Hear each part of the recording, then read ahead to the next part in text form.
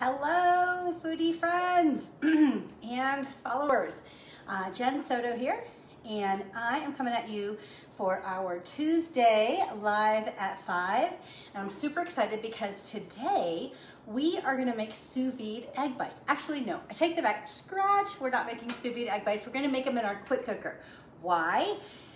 Because sous vide egg bites take a really long time to make and we can make them in our quick cooker and they taste pretty much the same. So um, strap in, if you love Starbucks like me, then you are really gonna enjoy this recipe. So if you're watching um, live or you're watching on the replay, go ahead and put a comment down below. Let me know that you're here, say hi tell me your favorite thing to get at Starbucks or make it home if you're more of a make it home kind of person. And we will get started. I can't wait to show you guys this. So first of all, let me tell you a little bit about our deluxe multi-cooker. That's what we're gonna use today to make this. And this is a pressure cooker. It cooks sous vide. It's also a slow cooker.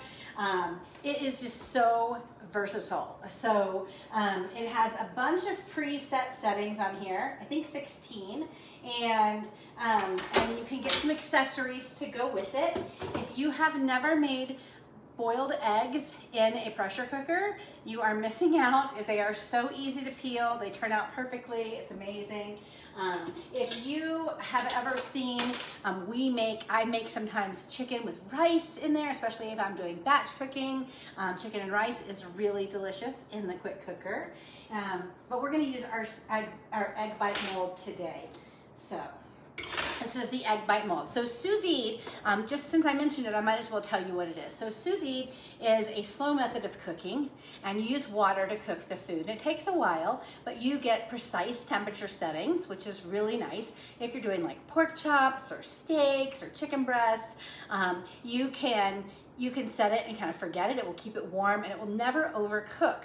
So that's really nice. So if you're having people over for dinner, you wanna have, you got some steaks, you wanna do them really right, do them sous vide. And then you just put them on a sizzle skillet or on the grill pan, you know, just to grill them up real quick, just get the outside nice and seared, and then you're good. And it's the steak, I cannot tell you, is so good. Pork chops, amazing. So, but we're gonna go ahead and make our sous vide egg bites today. So I'm gonna go ahead and prep I mean, we're gonna go ahead and make our egg bites today. So if you're a big Starbucks fan like me, then you will probably love this recipe. So the recipe calls for six eggs, and a third of a cup of cottage cheese, but we're gonna change it a little bit. Um, the recipe is actually available on my website. I'll post it in the comments, but um, we're gonna change it a little bit because we're gonna do it in the quick cooker. So we need to make some alterations. That's in the recipe at the bottom. Now we're gonna use our pressure cooker, the Deluxe Multi-Cooker. If you have a pressure cooker, you can do the same thing. You can do this also. Um, so the first thing I'm gonna do is cut up my toppings because I've, I've got some of this stuff already done. But I'm gonna go ahead and cut up this bacon here. I just use pre-cooked bacon. We buy our bacon from Costco and it's mostly cooked. So um, I could cook this a little bit more if I wanted to.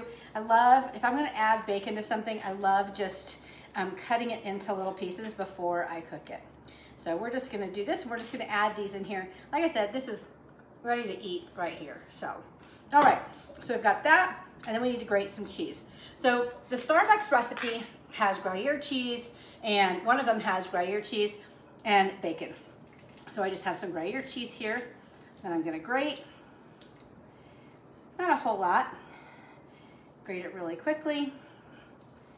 Okay, I probably could do some more, but that's how much I got out. so that's how much we're doing, okay? Um, and we'll put that right there. I think last time I did more and it was just a little bit too much. You can also add eggs or spinach in here. I will say if you're gonna add eggs, make sure you get all of the, they have a lot of moisture in them, so you don't wanna, um, you wanna make sure you seed them and get all that moisture out, or use um, sun-dried tomatoes and then kind of rehydrate them. You could just put them in some really hot water for about 10 minutes and that'll rehydrate them, they can cut them up that way. All right, so let's go ahead and get this ready. This is the smallest bowl from our stainless mixing bowl set. So we need our four eggs, and I went ahead and cracked them already ahead of time. You guys don't need to see me crack four eggs. We need a quarter cup of cottage cheese. I already went ahead and pre-measured that in the mini or the small measure all cup. Okay, and then we need a half a teaspoon of salt. So we'll just put that in there. And then we're gonna mix it. And you wanna mix it really well because you want that, um, you want the cottage cheese to get really good and mix in there. So I'm actually gonna use my mixer to do this. This is the Flex Plus. And as you can see, I have a container right here that has all the pieces and parts. And I'm just gonna stick in here. The Flex Plus also is an immersion blender and a food processor. And so it's kind of one of those things you put together. So, okay, so I need to make sure this is on and push the button to turn it on.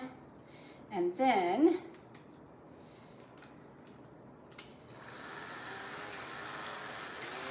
not, i don't want to whip it, but I do want to make sure that this cream cheese gets good and mixed in here. And the reason I'm using a metal bowl is because if you're using a glass bowl, you can cause chips with your blender. Okay, so just mix that in there pretty well. Oops.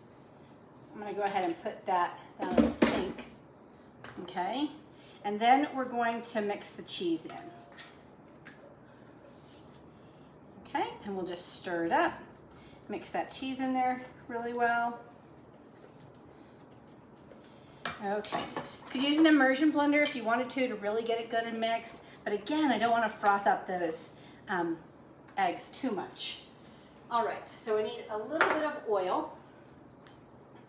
And I'm actually going to use this pan, I, or this bowl that I use the eggs for. I'm just going to put a little oil in here, some olive oil. Okay, don't need a whole lot and use my um, chef's knife to kind of coat the um, egg bite mold. So this is the egg bite mold. You can buy this, you know, separately. Works in a pressure cooker, works in our sous vide. It also works in the oven. And in the um, in the uh, whatever it's called, in the recipe um, kind of gives you some ideas for things you can do. All right, so we're just gonna pour. I love this little handle here, it makes it so easy to pour. And we're gonna fill them about halfway full. Okay? I think maybe three quarters of the way full. And we'll start with halfway.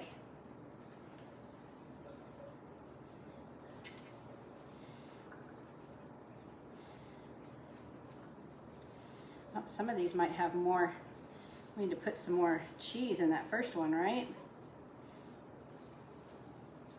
All right. And those first ones, I didn't get a lot of cheese. Okay. All right, so we've got all that poured in there.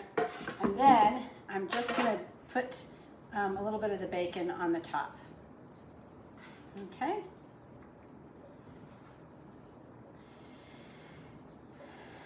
I want to use all the bacon, so I'm putting all the bacon on the top. and then we're going to put our lid on. All right, so whenever you're cooking in a pressure cooker, you wanna make sure you have water. So um, we're gonna put our stand in. This comes with the deluxe multi-cooker. And we're gonna pour our one cup of water in, okay? And then we're gonna load the egg bite mold on the little stand, the little holder. Makes it easy to get in and out. Lift that up, and we're gonna put that right in here. Okay, make sure the lid's on there nice and tight. Now, I love this because this deluxe multi-cooker has a on-off switch. And we're just gonna put it on the egg setting, which is 14 minutes. Okay, and then put the lid on. Oh, it said 13 minutes, so I guess I need to change that. And we'll add two minutes to the time. So I just turned that to add two minutes, and then we'll push start. Okay. Okay, so I think it's coming to pressure.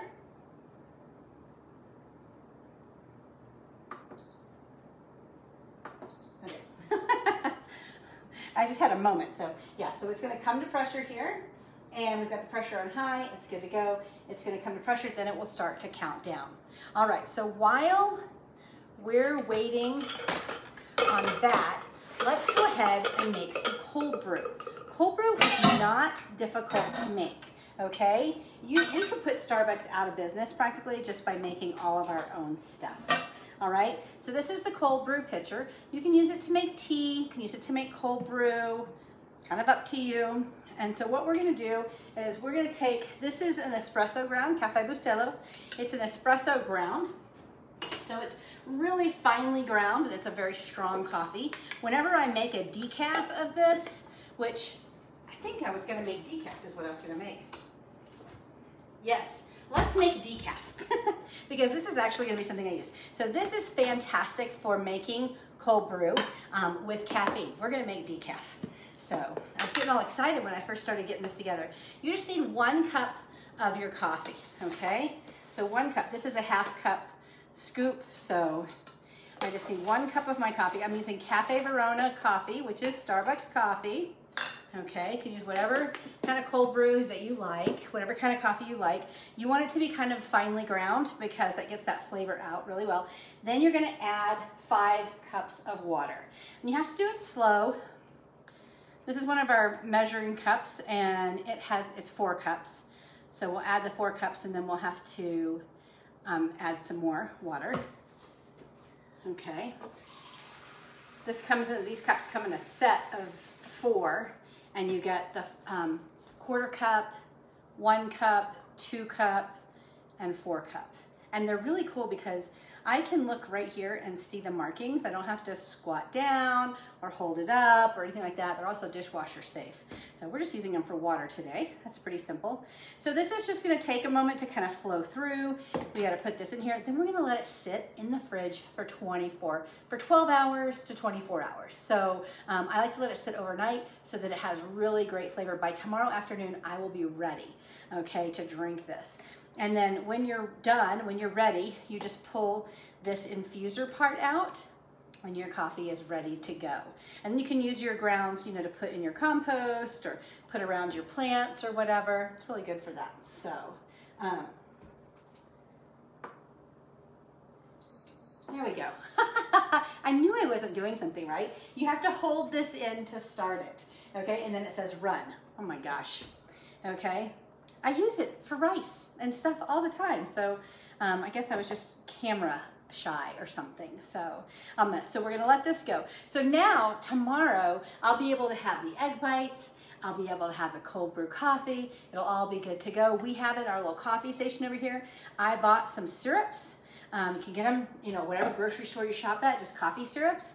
So, um, and if you want to know how Starbucks makes a recipe, get your Starbucks app, like your favorite cold, your favorite coffee. If you want to know what the recipe is for it, you can Google it, or you can just get your Starbucks app and then go like you're going to order it, and then go like you're going to change it, and you'll see. Like one of the things I discovered is that um, my pumpkin coffee, my pumpkin spice coffee that I like, it was always so sweet and I liked it, but it was always so sweet. Well, I realized they put three three squirts of the of the syrup in there. I don't need that much, so I do two squirts. And so once I realized that by ordering online, I I figured out how I could change it. So you could, could do that so you know what do you like. If you like the pumpkin spice, you can order pumpkin spice um, um, syrup and you can make your own at home. There's no reason that you have to uh, that you have to um, pay all that money. Although I do like buying Starbucks. So, um, all right. So uh, but sometimes, you know, you're trying to save money. Right now, we're trying to save money, right? So this is a great way to save money. I'm using the uh, infusion pitcher, and you can also use this to infuse your water if you want to put some veggies or like cucumber in it, not veggies, fruit or cucumber in it, um, or if you want to make like tea, like uh, my mom used to make sun tea back in the day. So um, you can do the same kind of thing. So maybe you like um, an Earl Grey lavender and you want to drink it cold. You can make a whole pitcher of it. Just buy your um, your leaves um, already, you know, kind of ground up and ready. One cup in here with five cups of water. Let it steep overnight and you'll have that cold brew tea as well. One of the things that's great about cold brew is that it doesn't have as much acid in it. So if you get upset stomach from drinking coffee, this is the way to do it. And if you, after you've cold brew it, you can microwave it or heat it on the stove to get it nice and warm again um, so that if you like your coffee warm. But um, going through that hot brewing process um, adds a lot of acid acid to the coffee. So, all right, this is gonna come to pressure. So when it comes out, I'll post, of course, video of it coming out, but it's gonna add, uh, it's gonna do that. And then, let's see, um, that's pretty much it. I hope you guys enjoyed um, with some tips of how to make your own um, Starbucks little treats at your house. And if you guys want to see something else, make sure you let me know. Go ahead and comment below with, with a trick or a tip that you'd like to learn. Be happy to share with you guys. Have a great night. Okay, we're back. So this has gone off. It's gone through its whole course of um, the 14 minutes and it's gone off. It actually went off a few minutes ago. So the first thing I'm gonna do is I'm gonna turn it to its side so the steam doesn't go up on my cabinets and I'm gonna push the steam release button and, and it's gonna release the steam. Just a little bit of steam left in there. So we're gonna go ahead and release that steam till the red little button goes down, the pressure indicator. I'm gonna hit stop and I'm gonna um, go ahead and open this up. One of the things I love about this um, new pressure cooker is that it has a lid holder right here so it can hold that lid for me. So I don't, you always wonder like where do we put the lid? Okay, so I have this right here on, I put it on the, the cutting board for the sizzle skillet. And we're gonna open that up. Look at how awesome these look. So fun, so cute. Look at that, oh, they smell amazing. They smell amazing. So go ahead and put this off. Everything is a little bit warm. So we'll just go ahead and I'm gonna grab a fork and take one of these out. They kind of just slide right out because of the oil that's in there. And then I'll cut it in half so that you can see what it looks like. Super easy, delicious egg bites. So exciting. Okay, the test is in the taste, right?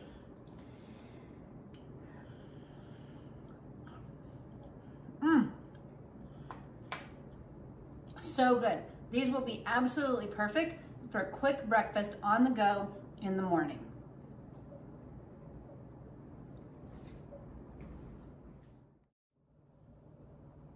All right, so I wanna show you how easy it is to finish up your cold brew after you have made it. Just as a recap, we put one cup of decaf coffee in here, Cafe Verona.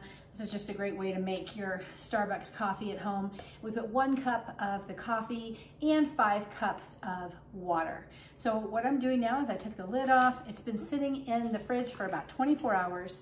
I'm just going to pull out the um, infuser.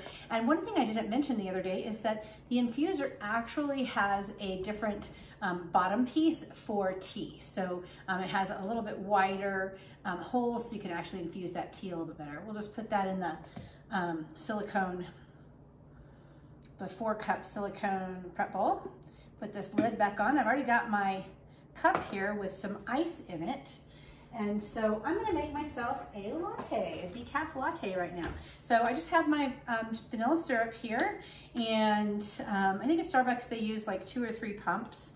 I'm just going to use um, just one tablespoon, um, which is basically maybe one and a half, which is basically like one and a half pumps, okay? And then I'm gonna open up my coconut milk. So I have coconut milk here. And I actually like my coffee a little more coffee-y and not so milky. So you can froth your milk if you want to make this um, warm, or you can use almond milk, or you can use regular milk, or you can use cream, whatever you want.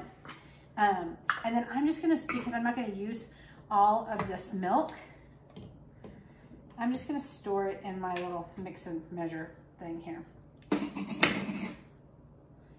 I'm not saying the official name for this thing. I'm measure, mix, and pour. Anyway, it used to be called Measure Mix Pour. Anyway, this is um, Pour. It's designed for salad dressings. We're gonna use it, oops, do not want that open. Give it a good shake, get those lumps out. All right, and we're gonna pour this in here, about right there. Open this up. Pour my coconut milk in there Obviously there's a little blob.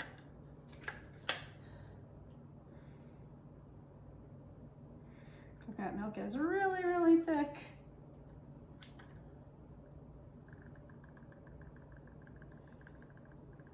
Okay, that should probably be enough to make it really creamy.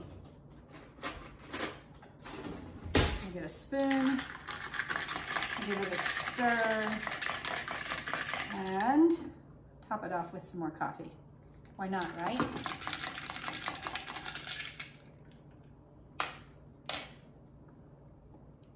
Perfect. I didn't even have to add any sugar. If you like sugar, you can add some sugar to it. But here it is, coffee, ready to go for my afternoon treat.